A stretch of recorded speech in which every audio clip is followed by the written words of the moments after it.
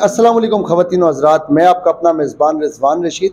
इस वक्त मैं मौजूद हूँ एस एच ओ जाहिद लगारी बसमीम वालेकुम भाईजान।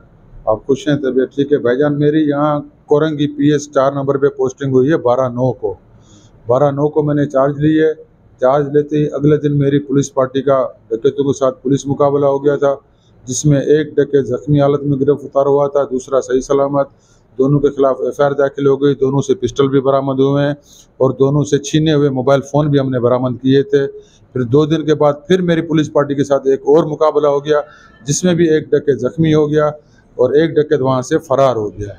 तो दो ये मैंने कार्रवाइयाँ की हैं, टोटली कोई बारह तेरह दिन हुए, चौदह दिन मेरे को पोस्टिंग किए हुए।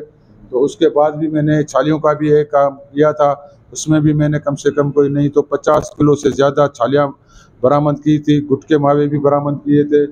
टोटल मैंने अभी तक कोई बारह केसेस किए हैं, बारह पंद्रह दिन में। तो इनशाला रोज़ मेरी रिकवरी है और क्रिमिनल के साथ कोई रियायत नहीं होगी, कोई उनके साथ बिल्कुल रियायत नहीं होगी। और आज मैंने रिसेंटली आज एक ईरानी ऑयल का काम किया है, उसमें से भी कोई साढ़े तीन सौ, चार सौ के करीब मैंने ईरानी ऑयल पकड़ा है, उसके खिलाफ भी मुकदमा दर्ज किया है, दो मुलजिम गिरफ़्तार हैं, एक सुजुकी है, पाँच सौ पचास की है, जिसमें वो ऑयल मौजूद था। क्रिमिनल के लिए यही मैसेज है कि या तो वो अपनी जाके मजदूरी कर लें, हकीलाल की रोज़ी कमाएँ, नहीं तो मेरे इलाके में जो भी क्राइम करेगा, उसके साथ में सख्ती से पेश आऊँगा।